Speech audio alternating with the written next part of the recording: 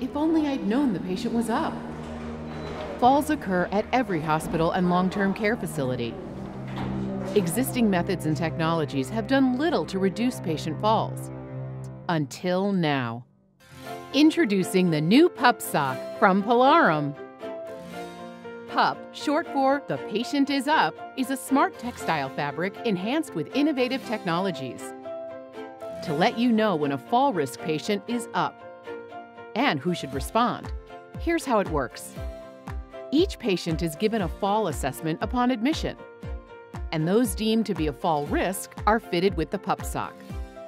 The patient is enrolled in the system, and the PUP sock is paired with the in-room tablet, or IRT.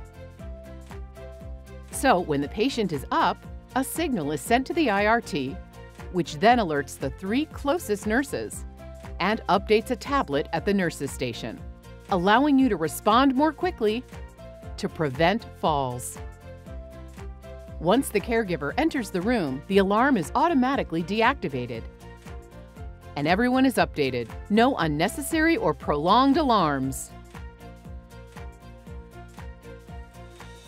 When the patient is discharged, the PUP unit is unenrolled from the IRT and the socks are recycled. Palarum's PUP system has three ways to notify you when the patient is up. First, via the Palarum Smart Badge. Second, via the tablet at the nurse's station. And third, via the IRT. To help you better anticipate, detect, and respond when a fall risk patient may need assistance. And our reports and dashboards provide useful tools and analytics for management and administrative personnel to help more effectively utilize resources. To help reduce patient falls, you'll know your patients are up when you have PUP.